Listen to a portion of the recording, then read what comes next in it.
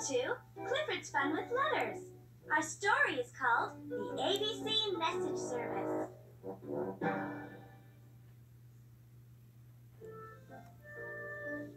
Hi, I'm Emily Elizabeth. That's M-L-E Elizabeth. Phew! Emily Elizabeth. Sometimes I wish I had a short name like Kim or Sarah or something. This is my Clifford.